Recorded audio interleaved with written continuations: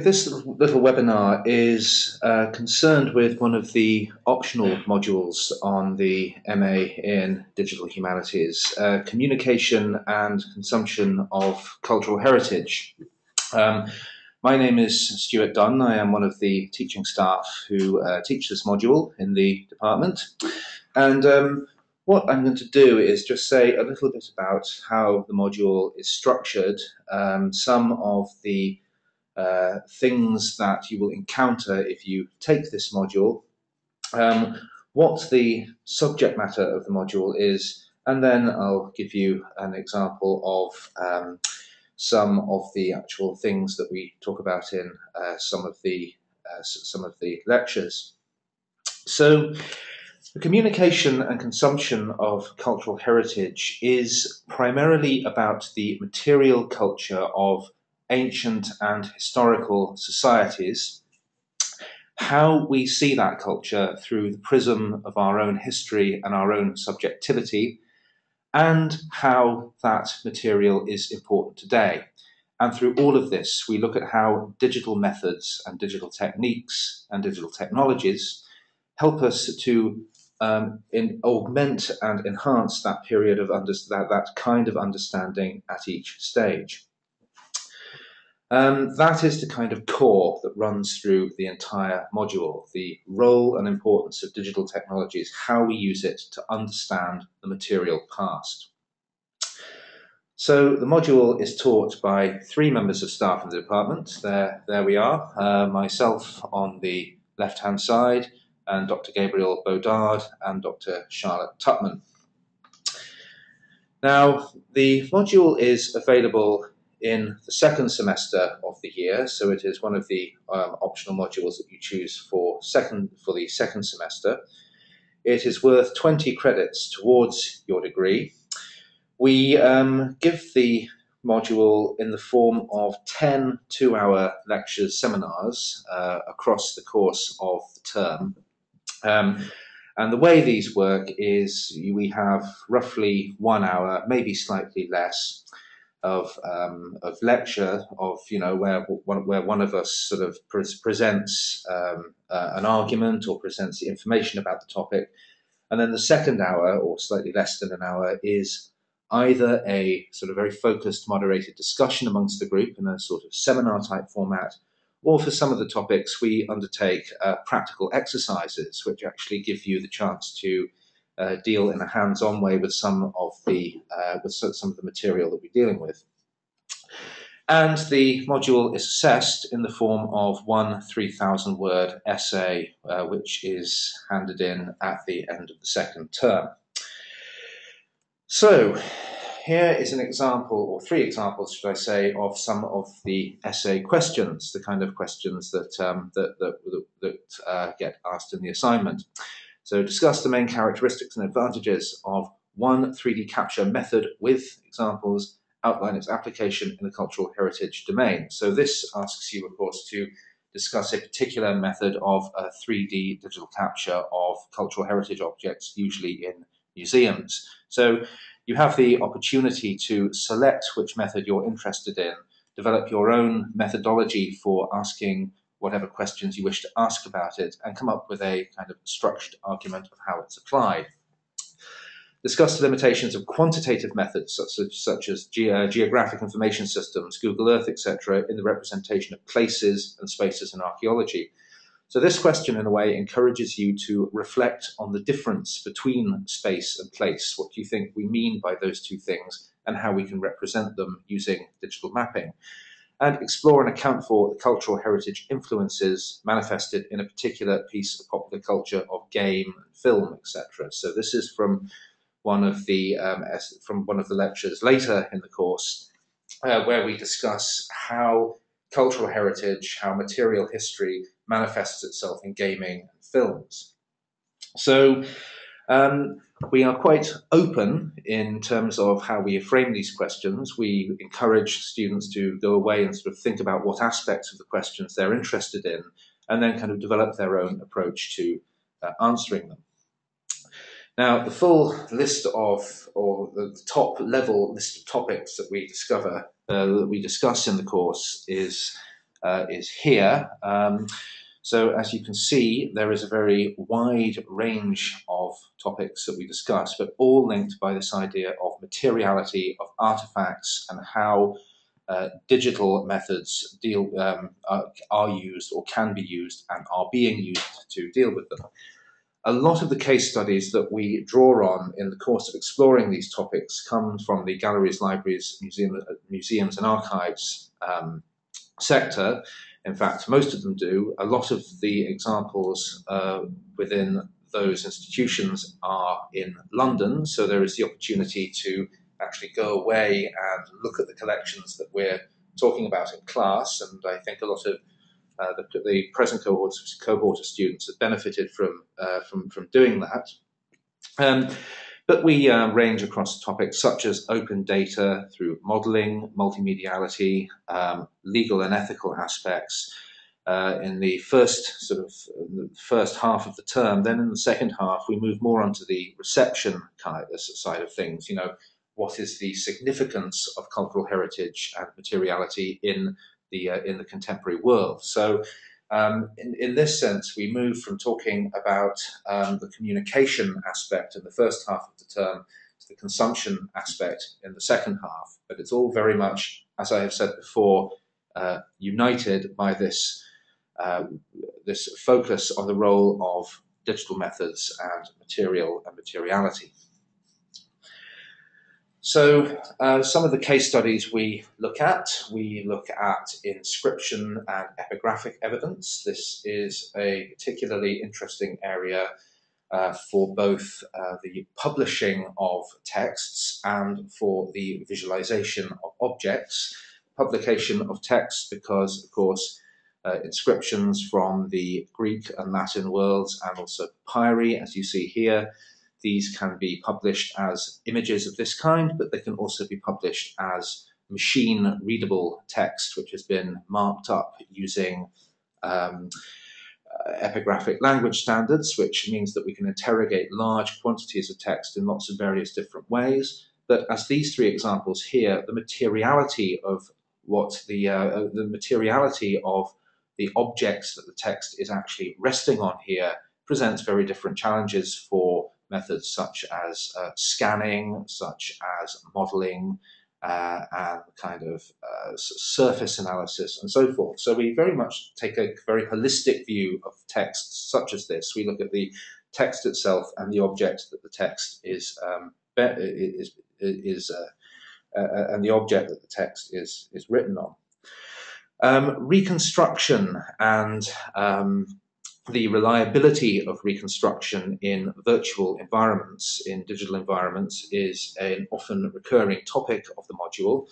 Uh, this is a very nice example of a piece of, uh, of, of, a piece of cultural history. It is a uh, hominid uh, skull. Um, it is, in fact, a very famous hominid skull, of which a lot of uh, very learned discourse and interpretation was developed largely around the kind of reconstruction that you can see here.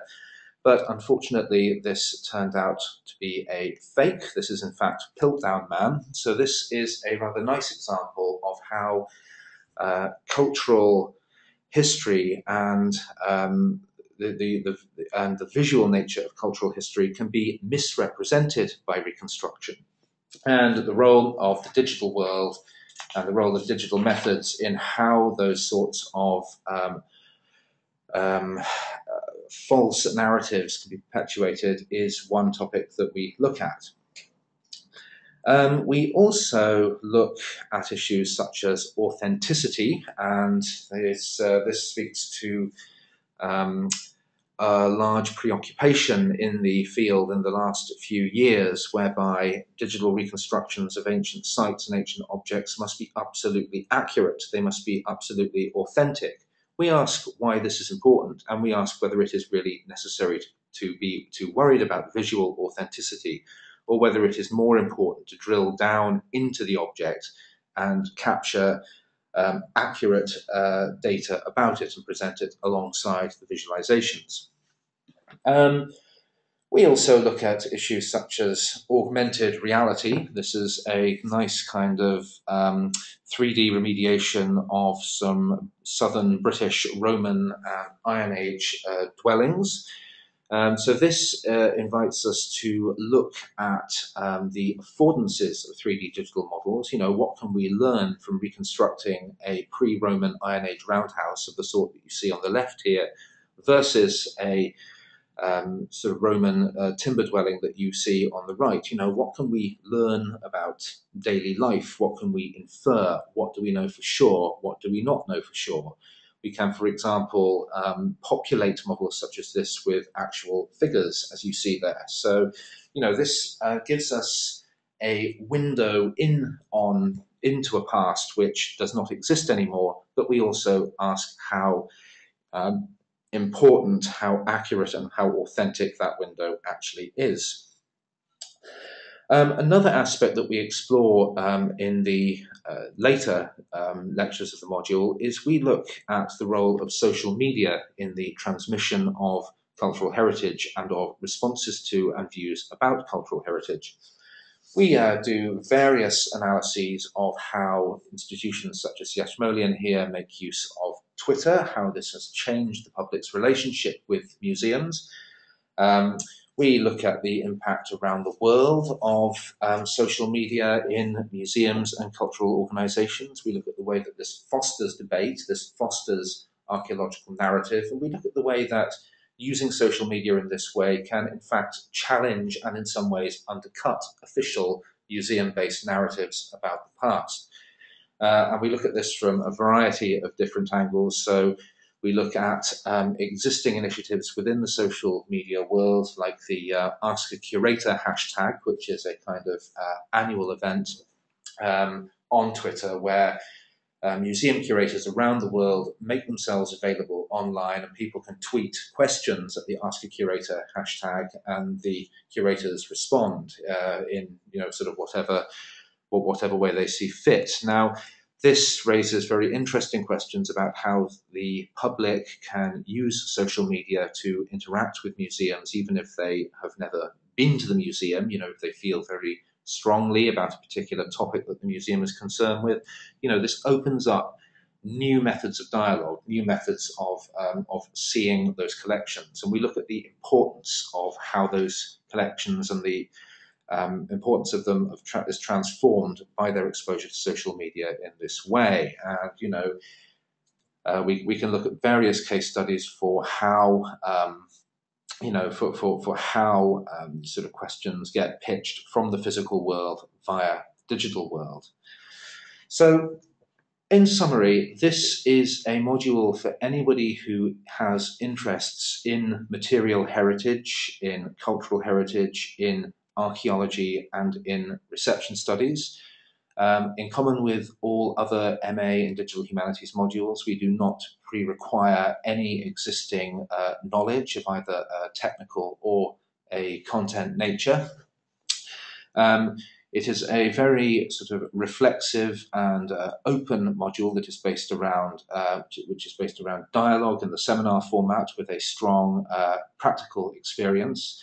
And in terms of um, its contribution to equipping you with a career, this will give you, this module will give you a good grounding in how important organizations um, in the museums, libraries, archives, uh, and uh, sector is making use of digital technology and how digital technology is being used to form new questions about material heritage.